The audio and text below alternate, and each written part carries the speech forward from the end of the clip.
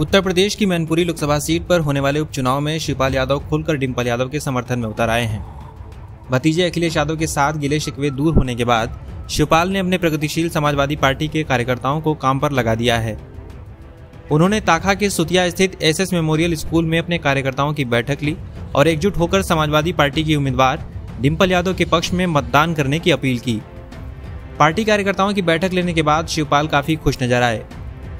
हाल ही में मैनपुरी से डिम्पल के नामांकन के बाद अखिलेश शिवपाल से मिलने के लिए उनके घर पहुँचे थे। इसके बाद उन्होंने मैनपुरी में सपा को समर्थन देने का ऐलान कर दिया था। शिवपाल ने अखिलेश के साथ अपनी फ़ोटो ट्वीट करते हुए लिखा था कि जिस बाग को नेताजी ने खुद सींचा हो, उस बाग को हम अपने खून पसीने से सींचेंगे। बता दें कि भारतीय जनता पार्टी ने सपा के खिलाफ शिवपाल के करीबी रघुराज शाके को मैदान में उतारा है। ऐसे में अखिलेश को शिवपाल का यह समर्थन मैनपुरी की राजनीतिक समीकरण में बहुत ज़्यादा अहमियत रखता है।